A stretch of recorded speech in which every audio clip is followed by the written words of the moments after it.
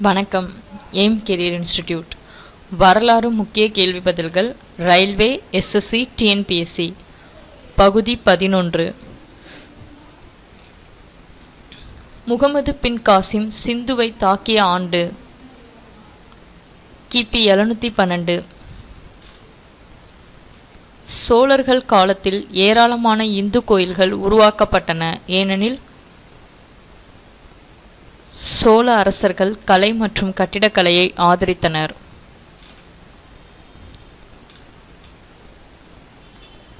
Warren Hastings மீது அரசு துரோக குற்ற விசாரணை மேற்கொள்ளப்பட்டது. ஏனென்றால் ராஜா நந்தகுமாரை தூக்கிலிட்டார் அவமதித்தார். கர்சன் பிரபு இந்தியர்களினால் எப்பொழுதும் நினைக்கப்படுகிறார். ஏனெனில் அவர் ஆயிரத்தி தொள்ளாயிரத்தி ஐந்தில் வங்காளத்தை பிரித்தார். கொழுப்பு தடவப்பட்ட தோட்டாக்கள் இப்போரோடு சம்பந்தப்பட்டது. ஆயிரத்தி எண்ணூற்றி ஐம்பத்தி ஏழாம் ஆண்டு கழகம். பல்கலைக்கழக மானியக் குழு நிறுவப்பட்டது. பல்கலைக்கழக கல்வியினை மானியமளித்து ஊக்குவிக்க ஆங்கில கல்வியினை மேம்படுத்துவதற்காக ஆங்கிலேய கிழக்கிந்திய கம்பெனி துவங் துவங்கப்பட்ட ஆண்டு. கிபி ஆயிரத்தி அறநூறு. காந்தியை கூறுவது தேசிய தந்தை. ஆயிரத்தி தொள்ளாயிரத்தி எழுபத்தி எட்டாம் ஆண்டு வட்டார மொழி பத்திரிகை சட்டத்தை நடைமுறைக்கு கொண்டு வந்தவர்.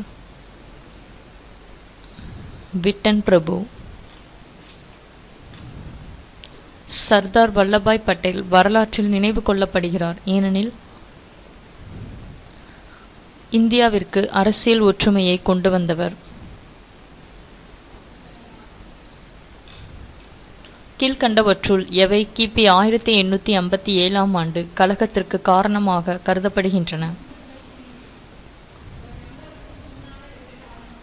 என்ஃபீல்டு துப்பாக்கிக்கு கொழுப்பு தடவிய குண்டுகள் புகுத்தப்படுதல்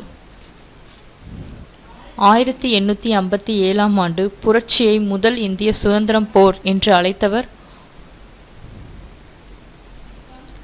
வி. டி. சவர்கர். இந்திய தேசிய காங்கிரஸில் பிளவு ஏற்பட்ட ஆண்டு கிபி ஆயிரத்தி தொள்ளாயிரத்தி ஏழு.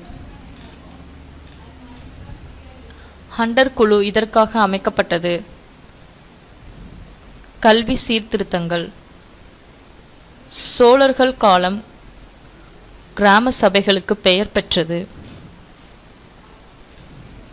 இந்தியாவில் டாக்டர் அன்னிபெசண்ட்டின் சாதனை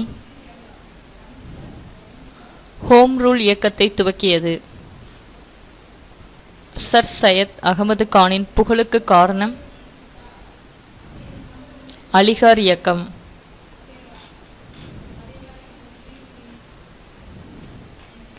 ஆயிரத்தி தொள்ளாயிரத்தி நாற்பத்தி ரெண்டாம் ஆண்டின் முக்கியத்துவம். வெள்ளையனே வெளியேறு இயக்கம். ஆயிரத்தி தொள்ளாயிரத்தி நாற்பத்தி எட்டாம் ஆண்டின் முக்கியத்துவம் காந்திஜி படுகொலை செய்யப்பட்டது. ஆயிரத்தி தொள்ளாயிரத்தி நாற்பத்தி ஏழாம் ஆண்டின் முக்கியத்துவம்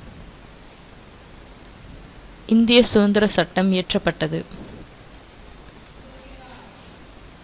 Subscribe our channel by AIM Career Institute. Thank you.